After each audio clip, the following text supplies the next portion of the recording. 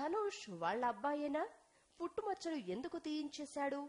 ట్విస్టుల మీద ట్విస్టులు. హీరో ధనుష్ కేసును మధురై కోర్టు సోమవారం మరోమారు విచారించింది. గతంలో ఈ కేసును పలుమార్లు విచారించిన కోర్టు ధనుష్ తమ బిడ్డే అంటున్న కదిరేసన్ మీనాక్షి దంపతులు చెబుతున్న పుట్టుమచ్చల ఆనవాళ్ళను పరిశీలించాలని ఆదేశించింది. దీంతో ధనుష్ శరీరంపై పుట్టుమచ్చల కోసం పరీక్ష చేయగా అవి కనిపించలేదు.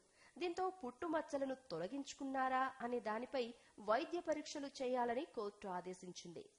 కోర్టు ఆదేశాలతో రంగంలోకి దిగిన ప్రభుత్వ వైద్యుల బృందం ధనుష్కు పరీక్షలు జరిపి పుట్టుమచ్చలను తొలగించుకున్నారని నిర్ధారించింది. లేజర్ టెక్నాలజీతో పుట్టుమచ్చలు తొలగించుకున్నట్లు కోర్టులో నివేదించింది. వైద్యుల నివేదికపై విచారణ జరిపిన కోర్టు అనంతరం కేసును వాయిదా వేసింది.